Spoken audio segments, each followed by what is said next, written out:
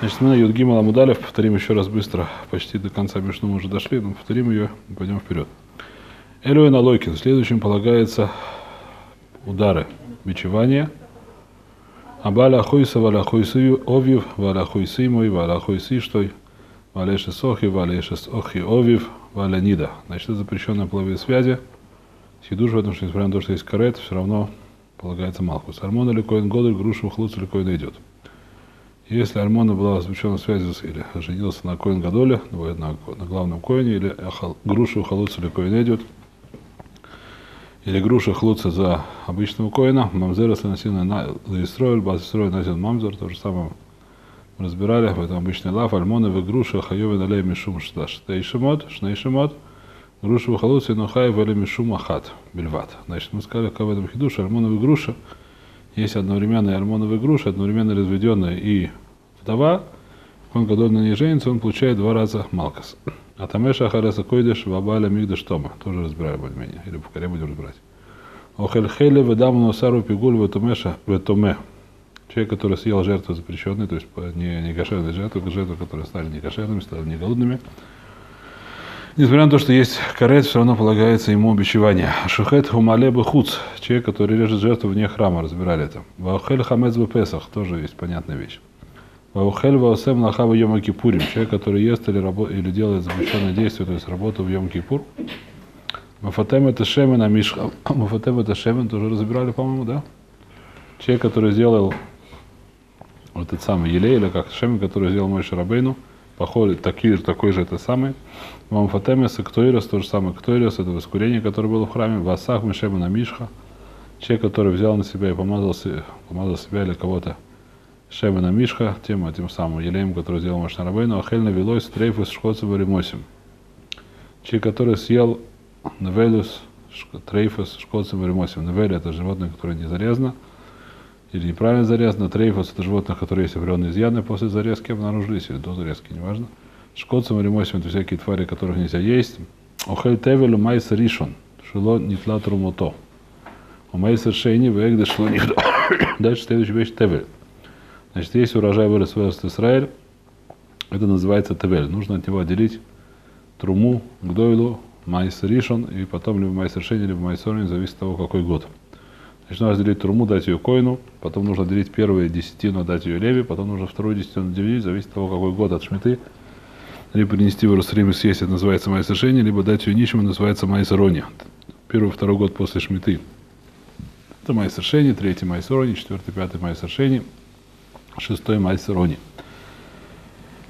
Потом седьмой год у него ничего нету.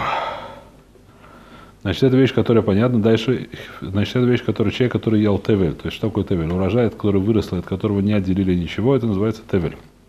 Человек, который съел, получает бичевание. Говорит Раши, где мы это учим? Мы велой хулюй скушев на Израиля шер яриму.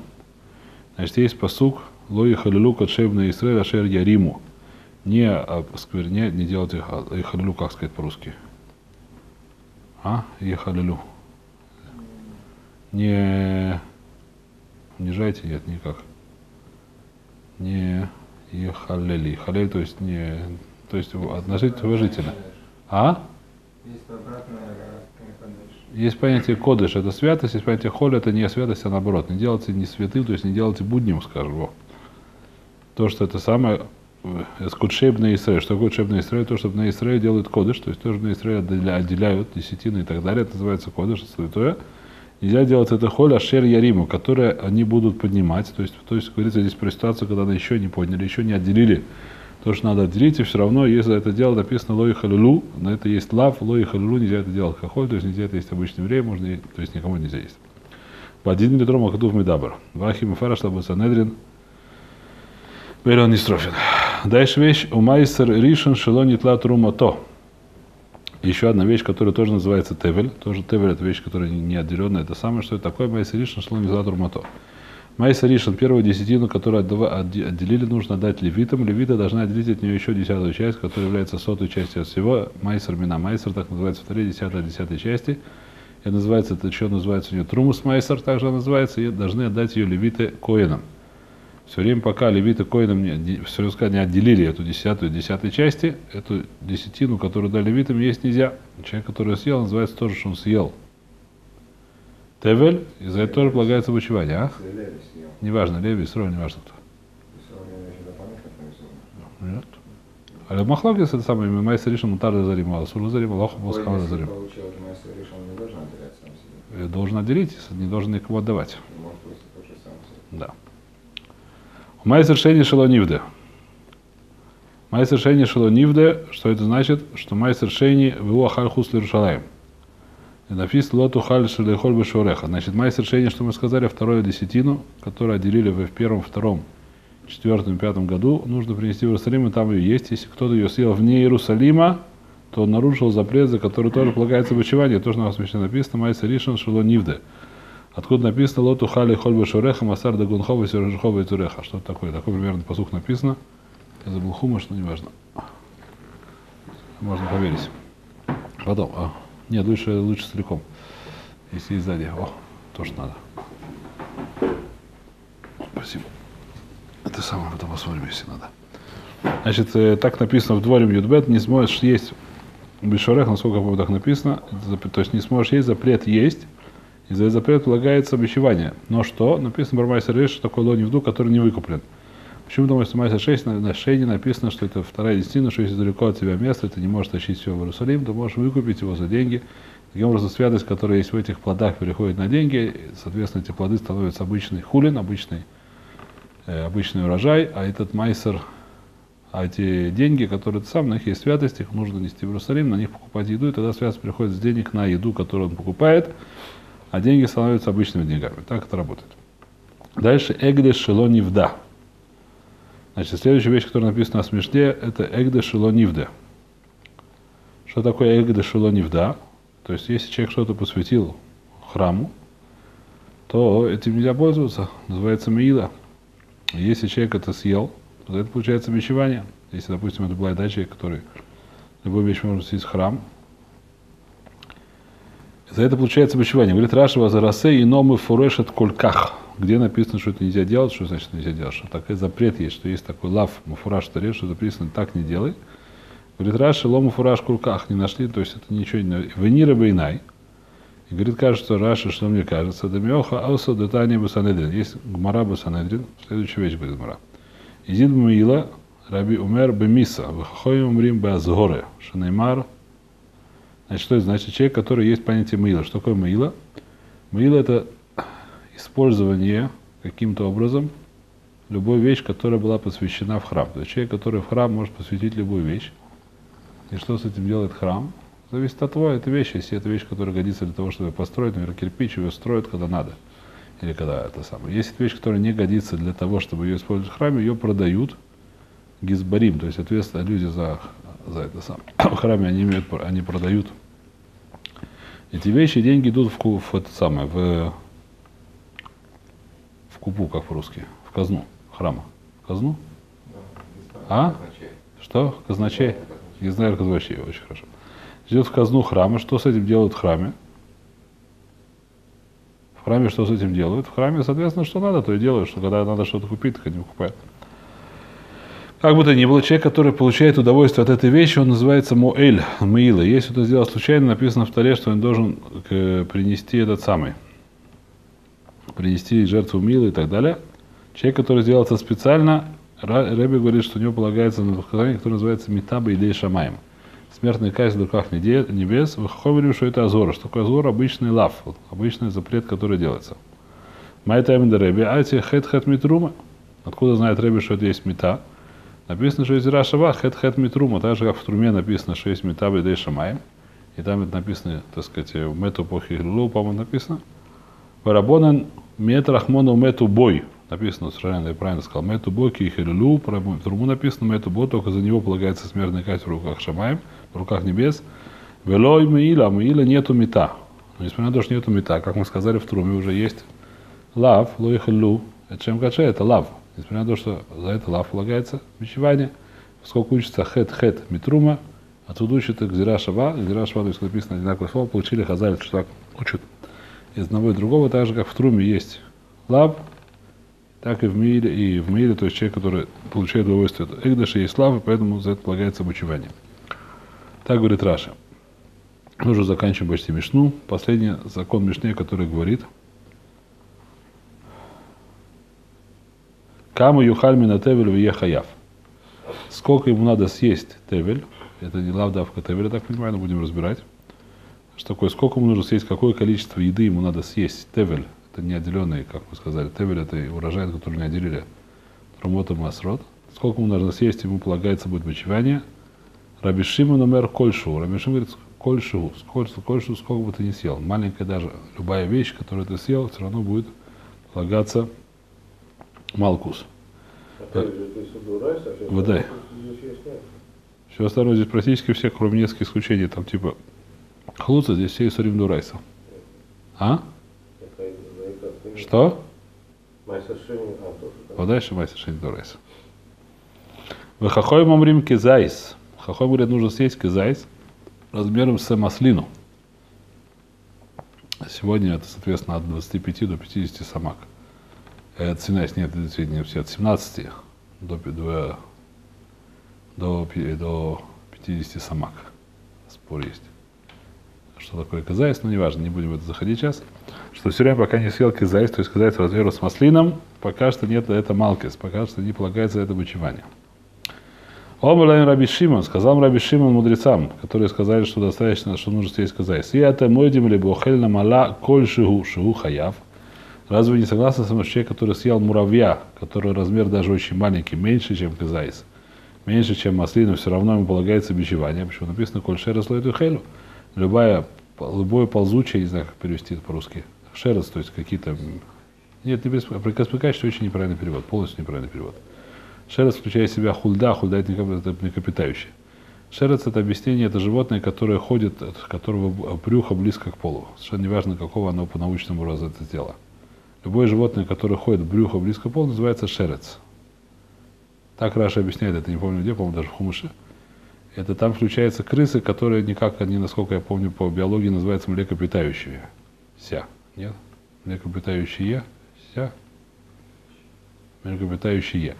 Значит, несмотря на то, здесь не это, мы не говорим про определение биологическое, мы говорим про определение шерец, то, что повторяет, имеется в виду шерец, то есть это животное, у которых брюхо а в случае, близко к полу, так что это выглядит, что это ползет, а не идет. То есть, а, то есть животные, которые ходят, это не называется шерсть. Собака не называется шерсть, потому что сегодня, правда, есть такие собаки, которые тоже, я думаю, что нас шерсть всякие. Всякие так, таксы нет. Так, а таксы, да. Таксы, я думаю, что по будут называться шерсть, может быть, даже. Я не знаю точно, но это разницы нет сильно. Лехар Капав, может быть, но неважно. Но, в принципе, собаки нормальные, которые это самое, до, такс, до, до, до, до, до таксовой эпохи, они все ходят так, что видно, что они ходят, кошки и так далее. А есть белки, которые самые, и включая эти самых, все всяких этих самых ящериц и так далее, это тоже называется шерец. Значит, слово шерец, оно никак не относится к биологическому названию присмыкающийся, э, относится, что это такое, это вещь, которая выглядит как ползет то это мы говорим это самое. Дамаля, человек, который написано коль шерес лотохелев, сколько написано любой шерес не ешьте, то, соответственно, человек, который ее съел даже на маленького размера, и с этого начинаются большие проблемы у нас с червяками. Шу хаяв, что ему полагается бичевание, омрулой, мипней ши кибриоса, потому что она, как она создана, так она есть. Целиком слекается вещь, которая создание, берия. Человек, который съест создание, которое нельзя есть, полагается ему бичевание это не то, что полагает половину можно. Человек, который съел половину, у него нет бичевания, если он съел меньше казайца. Это хаци, хаци шура асур дурайса или дарабонан, хлогис рабьехан решлакиш, алалоха за асур дурайса. Что? Хацина мала, это меньше, чем кишур. Так махлокис это асур даравайну дару дурайса. В любом случае запрещено, есть спор запрещено и дурайса дарабона в последней порядке Васахет Юма, Аллахам баскивший сур дурайса хотят нет за это бичевание. Значит, ну если съел целиком, говорит, потому что это самое, обрля мавхита хат кабриоса, сказал, также и это самое. Также и одна пшеница, это тоже кабриос, одно пшеничное зерно, которое тоже меньше казайс. Одна пшеничное зерно, она явно меньше, чем маслина во всех измерениях. И поэтому, несмотря на то, что она, как сказать, э, меньше, чем маслина, все равно за нее полагается, говорит Раби Шимон, э, полагается Малкус. Мы видим в море, в чем там спор. В любом случае у нас есть спор Раби Шимон Хахомим Мудрецы говорят, Аллаха как хахоми, что чтобы получить бичевание, нужно съесть кизайс, кроме те вещи, которые называются берия. Что? Они не ответили на На это не ответили, но Гмара потом разбирает, чем дальше спор, дойдем до этого. Я не знаю, когда, но дойдем до этого. То мы прошли בסייעתא דשמיא Мишна и начинаем Гмору, сов-сов. Говорит Гмара, חייבי כריתות קתני, חייבי מיתות בית דין לא קתני. У нас в Мишне написано, что человек, который заработал, сделал нарушение запрета, за которое полагается כרת, ему полагается бичевание. Это первые примеры в нашей Мишне הן הלוקין הבא על אחותו. Человек, который запрещил, вступил в запрещенные связи половые с своей сестрой, ему полагается карет, так в Торе написано, и в нашем Мишне написано, что ему полагается малкут. Но ни одна из примеров, которые при нам Мишне, очевидно, здесь не упомянута вещь, те преступления, за которые полагается смертная казнь. То есть наша Мишна явно считает, следующую вещь, так можно понять из примеров, которые наша Мишна привела, что наша Мишна считает, что за запрет, который полагается карет, полагается бичевание, за запрет, который полагается смертная казнь, не полагается бичевание. Это то, что сразу Мара говорит. Хайвей крисус катани, то есть те запреты, за которые полагается карет, они в нашей Мишне перечислены. Хайвей мисус бейзин локтани, а запреты, за которые полагается смерть в, суде, в руках суда, как, как вы назвать это, в суде, так сказать, человеческом, они не перечислены. Масни синманы, это Мара знает, что эта тема есть спор Танаим. Есть спор Танаим, когда какие, как сказать, сейчас мы видим, в чем здесь спор. В всяком случае, Мара знает, что в этом есть спор. Говорит Мара, как кто идет, как, какое мнение идет наша Мишна, Раби Акиваги. Она идет к Раби Акива до Тания. Сейчас Мара приводит брайтов, которые есть три мнения. Сейчас будем все три мнения разбирать. Детание. Ихат хавей крисус, вихат хавей мисус бейзин, Ишно бихлаль малкус арбоим, диврей раби Ишмой. Значит, раби Ишмой говорит следующую вещь, спорит с нашей Мишной, что и человек, который нарушил запрет, который полагается карет, и человек, который нарушил запрет, за который полагается смертная казнь, ему полагается бичевание. Полагается 40 ударов. Дивра Раби Ишмой, это который же Раби Акива мэр, Раби Акива с ним спорит и говорит, Хавей крисус ишно биха малкус арбоим. Шима суд шува бейзин шимала мохлин лен. Хавей мисус бейзин эйну биха малкус арбоим. Шима суд шува эйн бейзин шермата мохлин лен. Значит, говорит Раби Акива, следующая вещь, что Хавей Крисус, человек, который нарушил запрет, за который полагается карет, ему полагается бичевание. Человек, который нарушил запрет, за который получается смертная казнь, за это нет бичевания. Раби Акива объясняет свое мнение, почему. Потому что он говорит такая вещь. Карет – это наказание в руках небес. Сколько в руках небес небес, если человек сделает шуву, сделает раскаяние, его прощается карет. Карет он может себе снять, если он делает шуву. А метаби, то есть а, уби, а, человек, который нарушил закашение, который полагается смертная казнь в руках суда, ему чува не помогает. Даже если он говорит, что я, я раскаиваюсь, это самое действительно раскаивается, Бейзи, несмотря на это, его должны казнить, нельзя помиловать. Сделал прегрешение, за которое полагается смертная казнь, со всеми, как сказать, когда его такие постановили смертную казнь, даже человек раскаивается, как это самое. Очень глубоко и очень...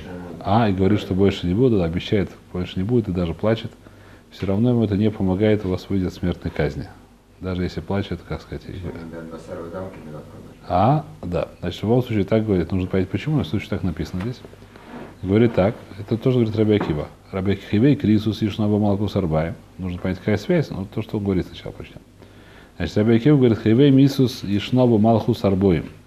Михлар Малку Тарбаем. Значит, Хивей Крисус, человек, который нарушил запрет, за который полагается карет, ему полагается бичевание, получается 40 ударов.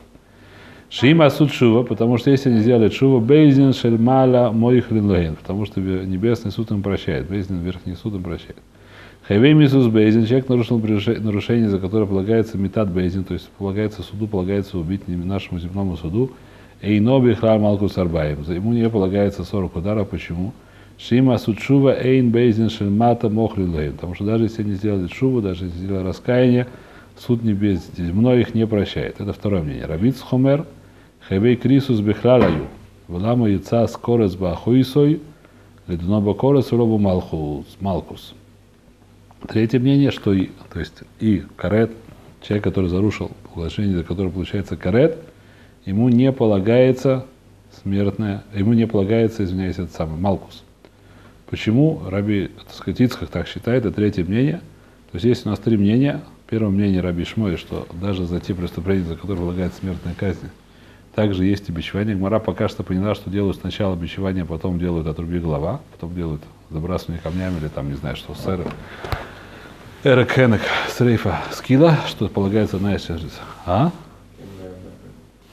Пока что Гмара поняла, что делают то и другое, потом у него разбирают другие мнения. Так считает Рабиш. Так, что мы понимаем мнение Раби Шмойля. Раби Акива говорит, что нет, за вещь, которая полагает смертной казнь, полагается бичевание, его только убивают. И третье мнение Рабицка, даже человек, который нарушил отношение, за которое полагается карет, тоже ему не полагается бичевание. И здесь уже Раби Шмой говорит себе, сразу же объясняет, почему. Так, значит, можно открыть наш Парашат Шаво, можно понять, что здесь написано. Значит, объясню, что здесь написано. Значит, у нас написана следующая вещь. У нас в Парашата Хареймот в конце написано запреты про э, этих самых родственных э, связей, да? Одна из первых это охото.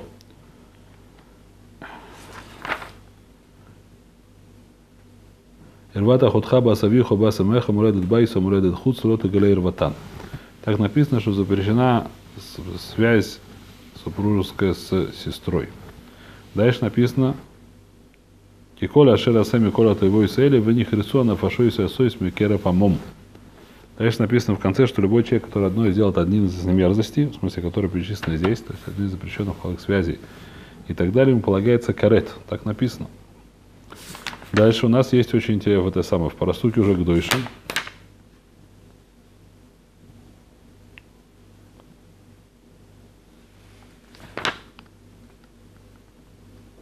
Значит, следующая вещь написана. Иш Ашеринаф Эсэшесах Иш, человек, который будет это, сам освободить замужнюю женщину, нужно убить их. Войсимаса, Ноэфа Ноэфис, Ноэфис. Иша Шеришка Эсэшеса Вивер, Васа Вигюра, человек, который с, с, женой папы тоже ему полагается. Иша Шеришка с Колосой, свою невестку тоже полагается. Иша Шеришка Захара тоже полагается мужчина. Дальше написано Видишь, ашерекаха сахусо, и басу виву басимо, и барай. Висерей сарвасо, и хесед, и вених рису, вених рису, лейнейбная. Момир вас, ахуй согила, вино и со. Дальше написан интересный посыл, который понять нужно, что он приносит нового. Человек, который возьмет сестру, сыну, от, дочку отца или дочку матери, и будет с ней запрещенных связей, написано «Вених рису лейнейбная мом», у них будет карет – Нужно понять, зачем этот посук написано. У нас же написано, что все, кто сделал одну из запрещенных, одни из них, мы сказали, это была сестра, полагается карет. Зачем здесь отдельно еще раз написано карет про сестру? У нас уже было в прошлой, прошедшей вот, то есть как раз это Ахаримойса к Дойшим. Сов Ахаримойса, Сов к Дойшим, это два лихуров посук, который написан, стих, который только сейчас прошли в конце к Дойшим, в конце пришел с Дойшим. Ваикра Кав посук Ютхет, нет, не знаю, посук э, Юдзайн. Он с первого взгляда кажется излишним. Почему? Потому что уже написано, карет, что любой человек, который делает один из запрещенных, один из этих мерзостей, полагается ему карет. Зачем раз написано Ахасой то, что говорит Равицкак здесь? Омравиц хомер хавей крисус бихлялаю. То есть всех хавей, все запрещенные связи были критот, кам сказали коль шарасеми коль от его тели. Все, кто делал один из этих мерзостей. Велама яйца с карес бахуису, зачем отдельно написано про сестру, что есть карет, лиду новый корес, вело бы скило, бы малкус. Сказать ей, что только карет есть, а больше ничего нету. Сказать, что далее, что есть, зачем это написано, чтобы ты знал, что за сестру полагается только карет, а ничего другого. Так считает Равицкак, поэтому считается отсюда, что, что за карет, те вещи, которые есть карет, есть только карет, а никаких других наказаний нету, и поэтому нету также и бичевания, Поэтому у нас есть три мнения, которые будем разбирать уже завтра. Раби Шмуаль, Раби Акива, Раби Ицхок, нужно запомнить это. Раби Шмуаль говорит, что даже за, наказание, за преступление, за которое полагается смертная казнь, есть также, кроме смертной казни, и удара бичевания. Раби Шмуаль, Раби Акива считает, что только если здесь смертная, если есть смертная казнь, то нет бичевания, но если есть карет, то да, есть бичевание. Раби Ицхок считает, даже если есть карет, то нет бичевания. Когда есть бичевание в тех Э, в тех запретах, которые не написаны карет, в обычных запретах. Мамзерет, то есть наша Мишна написана. И наша Мишна, как мы сказали, делает как мнение Раби Акива, потому что она привела примеры именно с именно с этих самых с каретами, не привела примера с смертной казнью.